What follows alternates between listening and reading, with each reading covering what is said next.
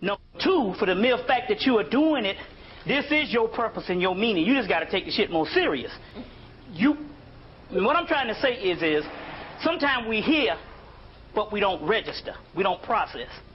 So when I say you are the ones that are fortunate enough to, to, to tap into this knowledge when the whole world is crazy, you need to process that for a minute and understand the importance of that. First of all, the greatest thing on the planet is the knowledge of self and basically the knowledge of the universe. For you, for the mere fact that you are even interested in this or remotely interested in this at this particular time when shit is going on crazy out here, it means that you are the special evolved beings. And so when I'm saying you need to process, you got to process that everything that you read in these books that you admire about the gods in the heaven and the gods in the universe, you must understand that that is nobody but you at this particular time. There's two realms of gods.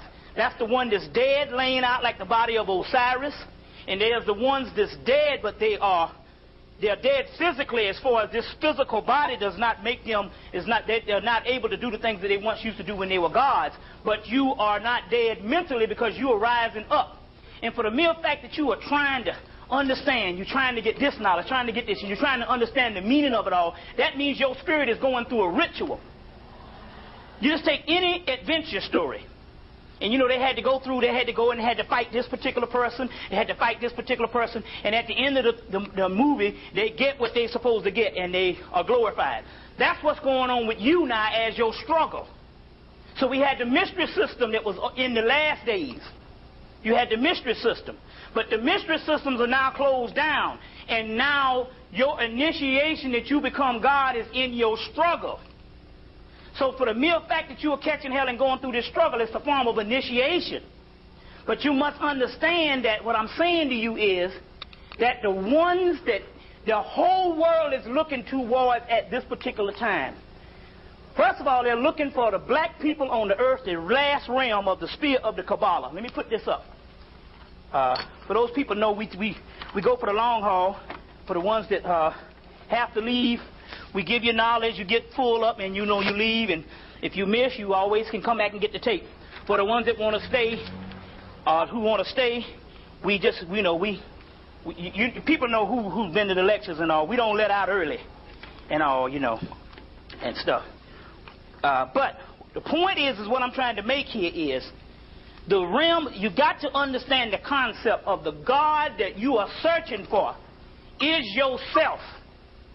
And the God that everybody is depending on at this particular time is a few people in Atlanta, which is you.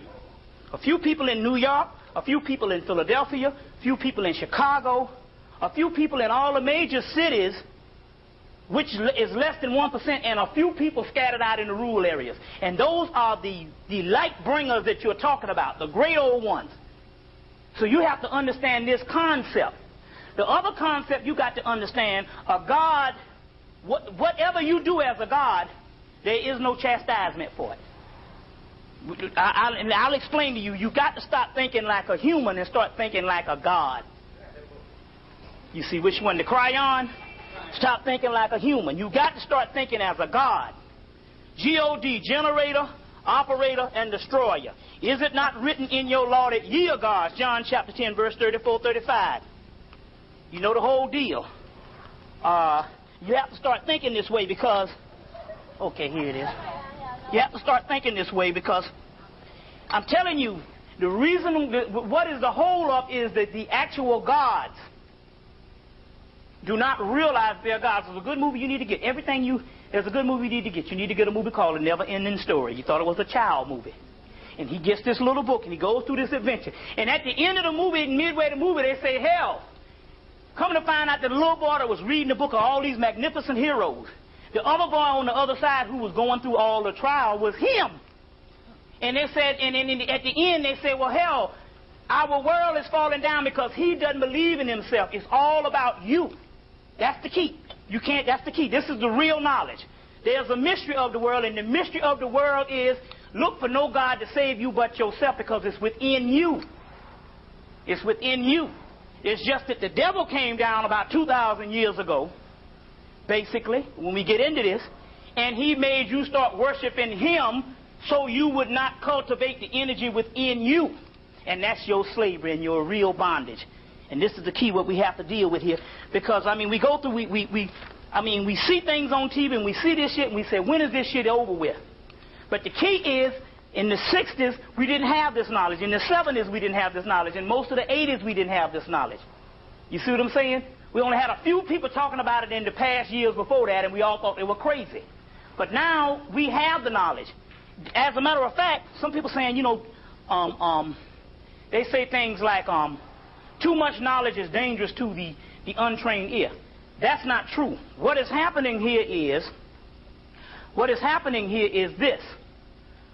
You are, there, the knowledge is here now. There is no more secrets. There is no more secret societies that's holding back knowledge. You see, the white boy understood that they would keep people dead long enough until they would be so dead until there will come a time where it, would be so much immersed in ignorance until they can give them knowledge and they will reject. And that's when he start putting out all the knowledge. That's why you go to your family members and they reject the shit. And mainly you. So they know that most black people reject this. I don't want to hear that black shit. I don't want to hear that shit, that old crazy voodoo shit. So because they reject it, now they can put the stuff out. So there is no more such thing as secrets. The secret is that the masses of the people hate knowledge. You understand what I'm saying? So as up around 1985, they they knew that the people would reject knowledge because they knew you rejected it in the 70s and the 60s. So they said, now we can put all the stuff out that we had held for the last 140 years that we dug up around the world. And as a result, that's why we only have less than 1% of the amount of people that really bears witness to what the hell is going on. You see. So, uh,